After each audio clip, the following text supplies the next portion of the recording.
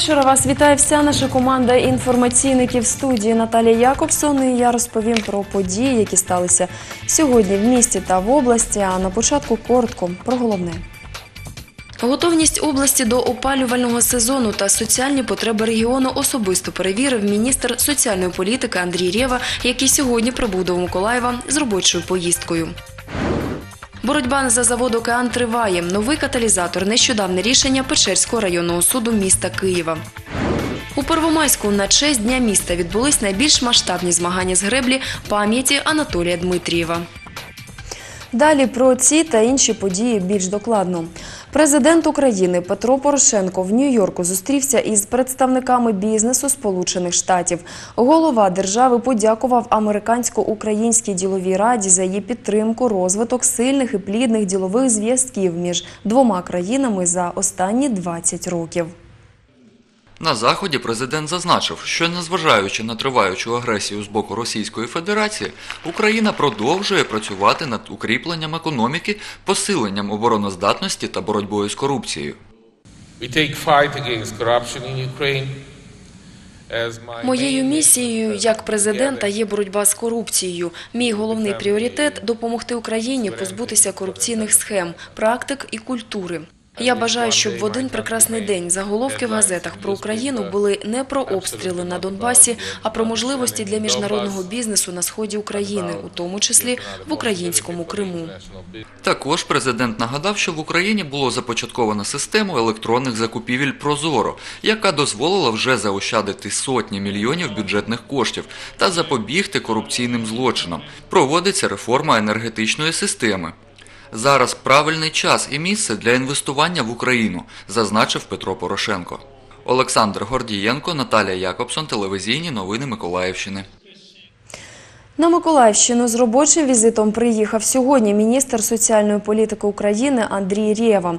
Після колегії облдержадміністрації пан Рєва дав прес-конференцію для представників засобів масової інформації. Говорили про готовність Миколаївщини до опалювального сезону та нові законопроекти, що готує міністерство. Андрій Рева коротко розповів про результати зустрічі. Як виявилося, голови міських та районних державних адміністрацій мали до міністра багато запитань, які потребують термінового вирішення. Та загалом зустріч пан Рева назвав конструктивною. Вона є, дає привід для того, щоб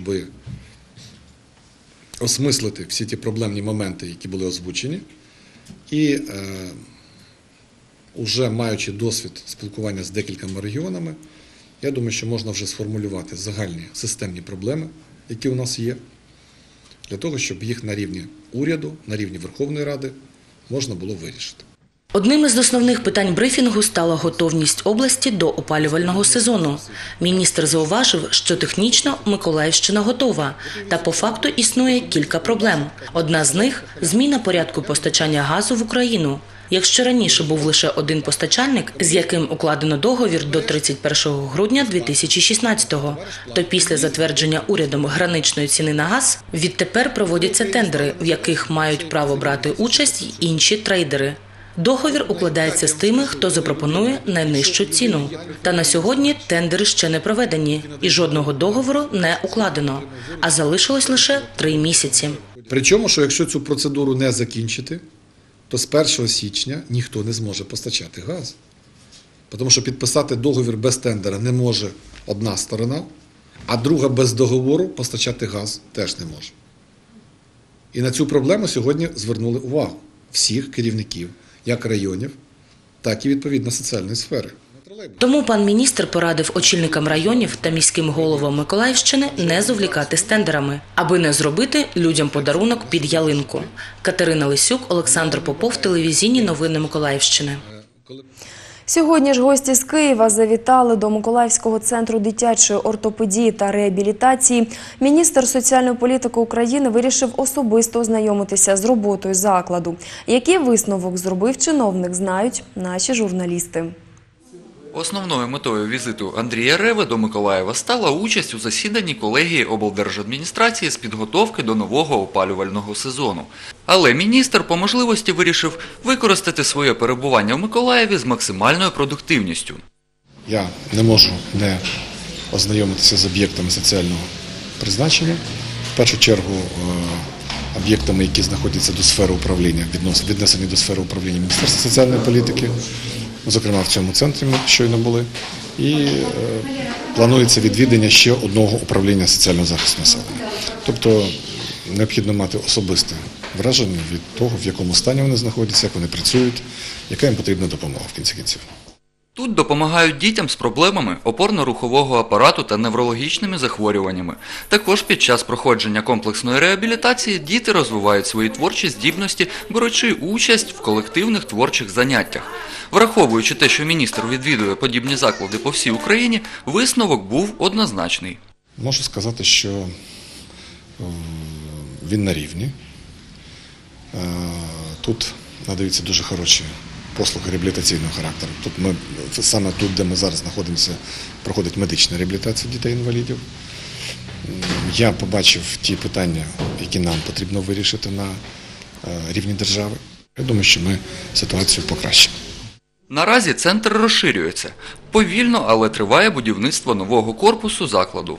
Олександр Гордієнко, Андрій Заворотній, телевізійні новини Миколаївщини.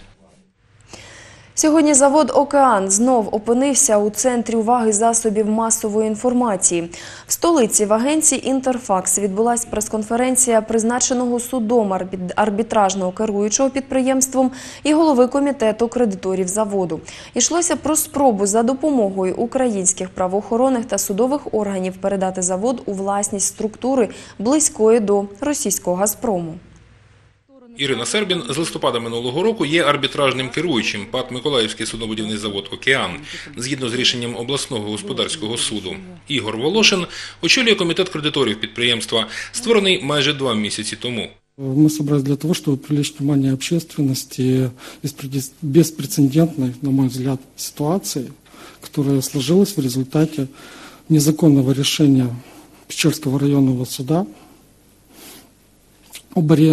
поданного по, э, по ходатайству Генеральной прокуратуры Украины, в результате которого было арестовано имущество завода и передано на ответственное хранение лицу, непосредственно связанное с российским «Газпромом». Скажу відверто, я була шокована не стільки арештом майна, наскільки передачею його, скажімо так, да, на відповідальне зберігання, причому неважливо навіть кому. Е, Жодним законом України, в тому числі е, КПК, взагалі таке відповідальне зберігання не передбачено. Е, Крім цього, в процедурі банкрутства майно перебуває в особливому правовому статусі. Надання накладання будь-яких обтяжень та арештів не допускається. І там да, одне з головних, що будь-які дії з майном можливі лише за рішенням суду, який розглядає провадження у справі про банкрутство. В нашому випадку це господарський суд Миколаївської області, ніякий інший. Унаслідок рішення Печерського райсуду Києва, підкреслили учасники прес-конференції, діяльність комітету кредиторів та ліквідатора заводу паралізована, і процес вирішення проблем океану та його колективу гальмується. Адже нещодавно було прийнято рішення про організацію відкритих торгів з метою продажу підприємства як цілісного майнового комплексу з початковою ціною 1 мільярд 800 мільйонів гривень. Саме таку суму боргів з заводу зафіксував господарський суд Миколаївської області. Лише після цього кроку можливе погашення багатомільйонних боргів із зарплати і відновлення виробництва за основним профілем заводу. Під час прес-конференції було продемонстровано відеозвернення від працівників океану. Ось фрагмент. Здравствуйте, Шакул Олег Петрович, строитель. Работаю э, почти 20 лет на заводе «Океан». Э, Мы в интернете увидели решение Печерского суда города Киева, но это о возвращении на наш завод э, с 2011 года. Э, Человек, которого мы абсолютно ну, хорошо знаем, это Шумило. Вот, он был здесь директором завода, и о нем отзывы, ну, мы даже не знаем, как его по имени-отчеству, честно говоря. Это, э, когда э, он руководил заводом, это че- человек очень далекий от судостроения. Вот, и начались задержки зарплаты. Э, э, по электроэнергии и газу мы не рассчитывались э, ну, с поставщиками. Э, м, Трехдневный рабочий. Т- Трехдневный рабочий день у нас начался. Этот, э, и сейчас этого человека опять вернуть на завод, чтобы он ну, ну, уничтожал завод дальше. По этому поводу мы вот собрались и, и не хотим во- возвращения прошлого, и тем более к этому человеку. Ситуації навколо заводу Океан та причинам її виникнення буде присвячений черговий випуск програми Ракурс. Ефір у середу, 21 вересня, початок о 20.00. Федір Бондар, телевізійні новини Миколаївщини. Прем'єр-міністр України Володимир Гройсман провів зустріч з делегацією зі Сполучених Штатів щодо реформи української митниці, які представили основні рекомендації щодо потреб митної служби за результатами їхньої перевірки. На початку засідання голова уряду зазначив, що сьогоднішня зустріч є підсумковою і стане початком формування дуже амбітного, але абсолютно реального плану реформи української митниці і прикордонної служби. За його словами, стара система роботи української митниці, що мала певні механізми зловживань, корупції, хабарництва та незаконного збагачення, має бути знищена. Натомість в Україні має бути створена нова митна служба. Я хочу вам подякувати за те, що ви доклали багато зусиль для формування сьогоднішніх рекомендацій Україні щодо реформування митної служби. Цьому передувала дуже велика робота і в Україні, і аналітична робота. Я хочу від імені уряду України подякувати вам за е, сприяння і е, цю роботу. Система потребує швидких, всеохоплюючих змін, і ми дуже тут розраховуємо на ваш великий досвід щодо впровадження такої системи, системи митної прикордонної служби. Представники місії США з оцінки потреб представили рекомендації щодо реформи митної служби України, що містимуться у звіті її роботи. Вони зазначили, що реформування роботи митниці має вестися зокрема за чотирма напрямками: підвищення професійності і ефективності організації служби, використання технологій, обладнання і скорочення людського чинника, зміна системи управління в митній службі та торгівля задля підвищення рівня зборів, доходів і захисту національної безпеки, а також викорінення корупції. Коли була зустріч е, ще в червні місяці з е, держсекретарем Керрі і з е, віце із Віце-президентом так, віце-президентом Байденом була йшла мова про те, що необхідно впроваджувати і надалі програму реформ в цьому напрямку. Прем'єр-міністр запропонував створити робочу групу з представників української та американської сторони для впровадження напрацьованих рекомендацій. Олена Міщенко, телевізійні новини Миколаївщини.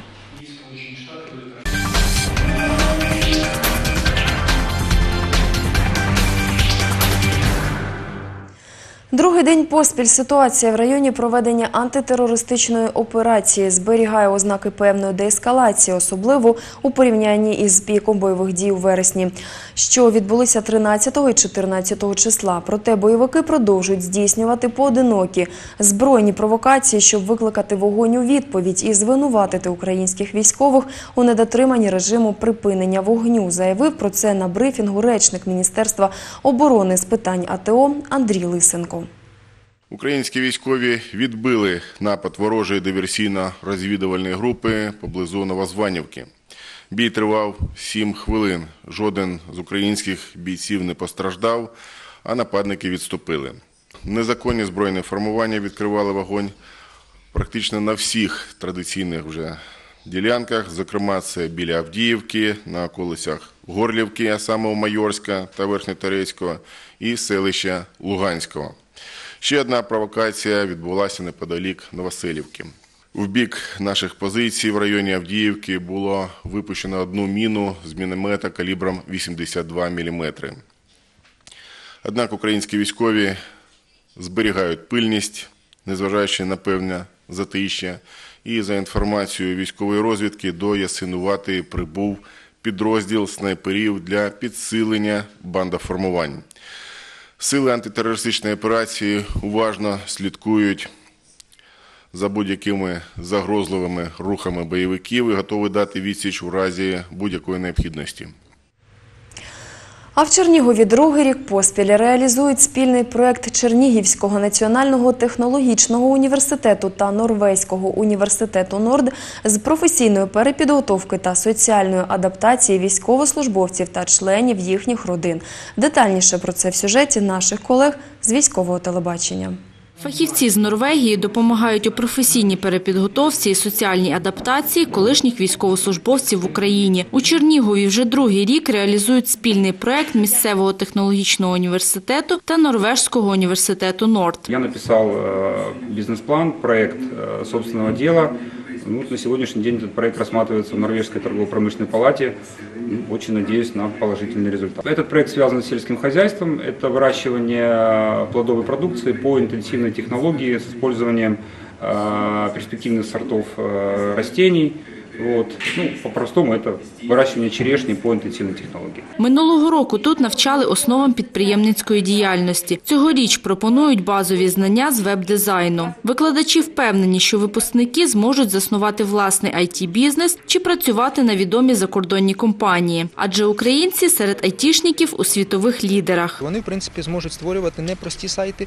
От вони змож- зможуть створювати досить складні е, портали на прикладі, е, там, наприклад, інтернет-магазину. Тобто, принципі, е, рівень тих знань, які вони отримають, він буде дуже високим. От і тут лише від слухачів залежить, як вони зможуть, як то кажуть, їх сприйняти. Участь у проєкті безкоштовна. Перепідготовка розрахована на 500 академічних годин. Це 3-4 місяці залежно від інтенсивності навчання. Знаєте, ми не маємо права схибити. Якщо в нас немає більшу частину, закриваємо самі. Е, Іноді читають і практики з е, інших установ і підприємств, е, які більш спеціалізовані на набуття фахових професійних знань вже практичних. У жовтні в Чернігові очікують візиту норвежських професорів, які обіцяють поділитися власним досвідом з учасниками проєкту. Ірина Монастирська, Олександр Штопун, Військове телебачення. А миколаївські рятувальники завітали до дитячого садочку Вишенька з інформаційно-роз'яснювальною програмою. Співробітники головного управління Держслужби з надзвичайних ситуацій України у Миколаївській області підготували для малечі цікаву розповідь про історію становлення та розвиток пожежної охорони, а також про сучасну професію пожежного рятувальника. У ході заходу гості продемонстрували вихованцям закладу макети бойового спорядження та одягу, розповідали про оснащення та техніку, яку мали на озброєнні вогнеборці минулих часів і яку використовують сьогодні. Сьогодні до нашого дитячого садка завітали наші друзі зі служби порятунку. В цікавій ігровій формі вони розповіли дітям про професію рятівника. Разом з цим привезли дітям дуже цікаві конкурси, естафети і подарунки. А ще діти разом із дорослими в котрий раз повторили правила безпечної поведінки з вогнем. Аби діти мали змогу поближче познайомитися із професією рятувальника, ведучі заходу організували для малюків цікаві ігри. Діти на швидкість одягали бойовий одяг, змотували пожежні рукави, намагалися подолати всі перешкоди пожежним автомобілем тощо. Крім того, співробітники головного управління Державної служби з надзвичайних ситуацій України Миколаївській області запропонували малечі цікаві загадки, вікторини та перевірили, чи знають дошкільнята основні правила безпечної поведінки. Олена Міщенко, телевізійні новини Миколаївщини.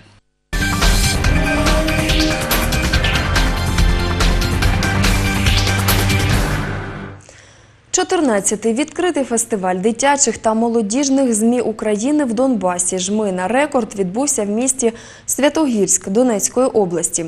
Участь у ньому брали й журналісти з Миколаєва. Подробиці далі в сюжеті Тетяни Бакоцької. До мирного Донбасу на щорічний фестиваль «Жмина Рекорд» за традицією запросили представників дитячих та молодіжних ЗМІ. Понад 100 юних журналістів приїхали до Святогірська здобувати нові знання й уміння у медійній сфері. 22 команди змагалися за звання найкращих. Результати учасників оцінювали в два етапи – домашні завдання та бліц-конкурс. Люди сюди бояться їхати, і оргкомітет був змушений ну, ем, ем, зробити рамки фестивалю такими більш відкритими і ем, не так ну, прискіпливо, може, як раніше, е, відбирати учасників і давати, тобто, ну, давали змогу цього року е, прийняти участь е, всім бажаючим. География феш- фестиваля стала намного шире. Э, К нам присоединились Полтава, Николаев, Херсон, Харьков. И мы этому очень рады. Э, Конечно же, для участников приготовлены небольшие сюрпризы. Естественно, э, так как э, каждый год мы проводим блиц-конкурсы, Цього року тема бліц-конкурсу – соціальна реклама. Кожна з команд у результаті жеребкування отримала конкретне завдання – створити радіо або телеролик чи написати статтю. У нас сам материал, что социальные сети это не всегда плохо, что в них есть очень много позитивных моментов, которые, допустим, помогают людям сейчас. Это можно связаться с человеком, если вы там очень далеко друг от друга. Про учителей, что, допустим, учителя вот недавно хотят сделать так, чтобы учителя регистрировались ВКонтакте, чтобы сблизиться с учениками. И мы тоже осветили эту проблему что плохо це или хорошо. Програма фестивалю була дуже насичена. Перегляд та прослуховування передач, майстер-класи від членів журі, творчі зустрічі з відомими журналістами України.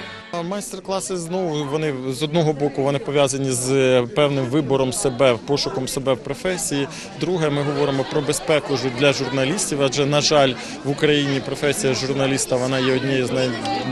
найнебезпечніших, і тема безкарності за злочини проти журналістів, на жаль, вона є надзвичайно актуальною. Как правильно снять, э, какие ошибки нельзя допускать, э, что, где, когда это все узнала. Родзинкою цьогорічного фестивалю був інтелектуально-розважальний квест Етюд у темних тонах. Кожній із команд у вечірній час треба було провести розслідування і швидше за конкурентів розшукати корупціонера. Гран-прі фестивалю Жмина рекорд отримала телестудія Київського університету імені Бориса Грінченка. Програму телеканалу Миколаїв нагородили дипломом за смачне шоу. Фестиваль, на якому ми тільки що перебували, він просто надзвичайно корисний з двох частин, тому що він тематично каже про мій край.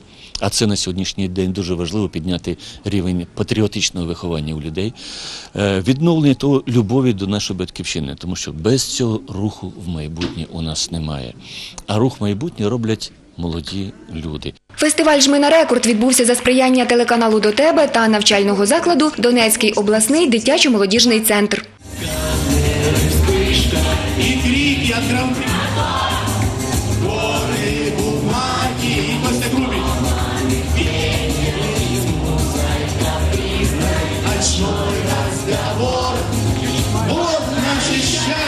Тетяна Бакоцька, Аліна Ященко, телевізійні новини Миколаївщини.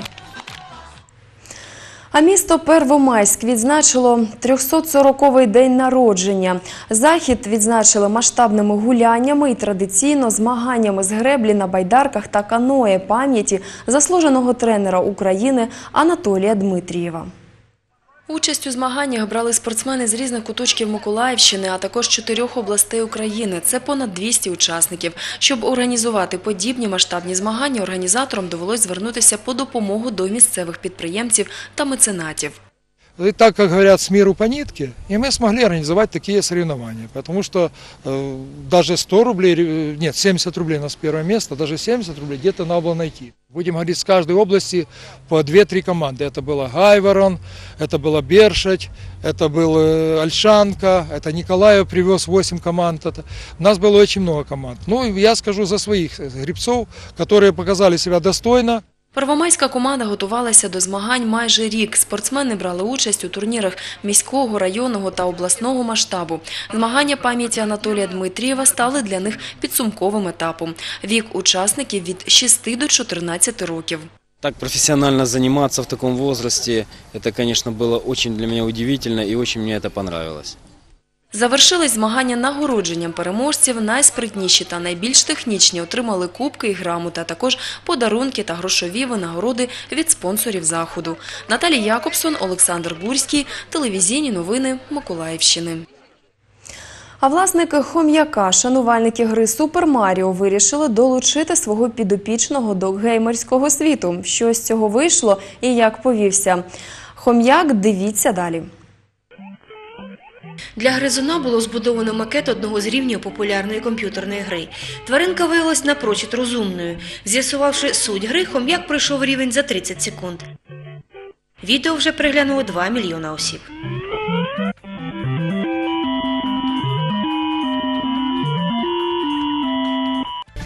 Тож це кумедне відео завершує вечірній випуск телевізійних новин Миколаївщини. Ну а наша інформаційна служба не припиняє своєї роботи. Ми продовжуємо відстежувати найцікавіші події в місті та в області, щоб потім розповісти про них вам. На завершення бажаю вам приємного вечора, гарного настрою та лише позитивних, особисто вам звісток. І до найближчої зустрічі в ефірі.